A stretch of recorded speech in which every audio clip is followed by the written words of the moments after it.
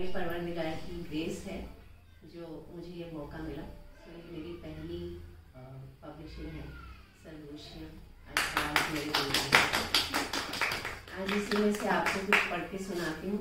थोड़ा सा अलग है, जो अभी तक आप लोगों ने पढ़ा, किसी ने एक छोटी बच्ची अपने अंदर घूमने की बात करी है, किसी ने माँ की बात करी है हाउस वाइफ की बात करी है। ये थोड़ी सी अलग है औरतों से थोड़ा हट जाते हैं जनरली ठीक है। सभी के ज़िंदगियों में शायद ये मुकाम कभी ना कभी आता होगा when you go through a low phase या आपको ये लगता है कि ये ये मुकाम इसको कैसे पार करेंगे इस फ़ेज़ को? या you can't see the light ahead so उसके ऊपर उसको कैप्चर करने की मैंने कोशिश करी है।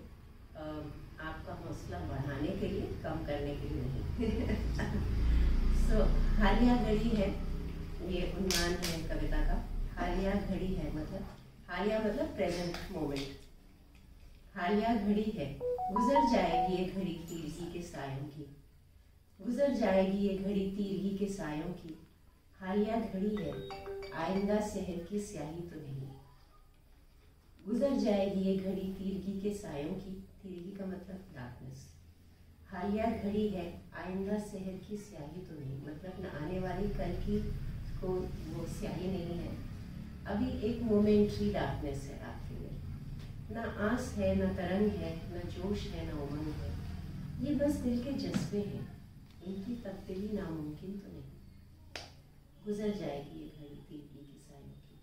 हालिया घड़ी है, आइंदा शहर की स्याही तो माना कि दौड़ दोभर है, बेकस है दुश्वार है। मगर हर इमाका अभी खत्म हुए इमा का मतलब एवरी पॉसिबिलिटी माना कि दौड़ दूबर है बेघर बे, बेकस है दुश्वार है मगर हर का अभी खत्म हुए तो नहीं। गुजर जाएगी ये घड़ी देगी के की। उम्र मचल रही है जैफी का पहर है ओल्ड एज उम्र मचल रही है जैफी का पहर है मगर अब भी अब भी तुरबत की घड़ी तो नहीं तुरबत इज़ ग्रेट गुजर जाएगी ये घड़ी हालिया घड़ी है। आइंदा शहर की सही तो कुदरती उसूल है, हर रात का सवेरा है। कुदरती उसूल है, हर रात का सवेरा हो। ये बस एक रात है। कुदरत के मुस्तकिल तो नहीं।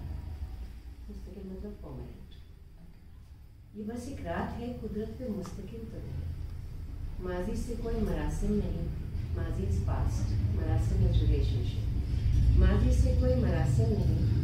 फर्दों पे कोई एतबार नहीं, आने वाले कल फर्दों टुमारो कोई एतबार नहीं। फिर भी फिर भी ये बस एक मरहला है, एक फ़ेज़ है, एक स्टेज है ऑफ़ लाइफ तेरी तमाम ज़िंदगी गुजर जाएगी एक घड़ी तेरी के समय की हालिया घड़ी है